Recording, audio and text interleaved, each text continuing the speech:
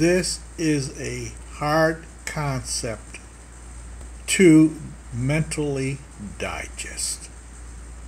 It's difficult because everybody on YouTube who tells you how to deal with retirement always talks about saving enough money to retire.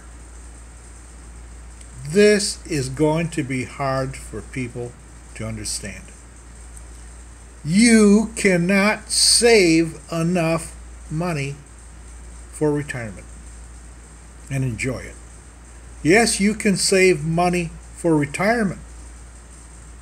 But then, as you pay your bills and try to enjoy yourself in retirement, you see your savings going down. Every time you pay a bill or do something you enjoy, you look at your savings account and it's dwindling. I don't say it's fast, but it's dwindling. Psychologically, it starts to work on you where you don't want to spend any money. Because every time you spend money, your savings go down. So forget saving money for retirement. Other than saving money, the only thing that works in retirement is a pension that you can count on every month.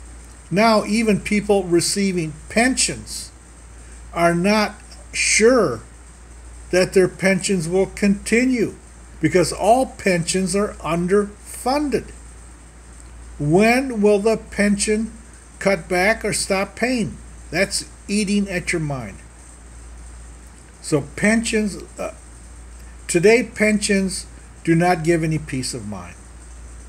Today, savings does not give any peace of mind. What gives peace of mind in retirement is making your money grow. That means eventually one day when you die from your retirement, you will have plenty of money. So get used to that fact. When you make your money grow through investing in retirement, I'll tell you one thing it does.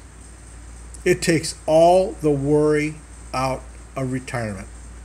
Because instead of your money going downhill, it's climbing uphill.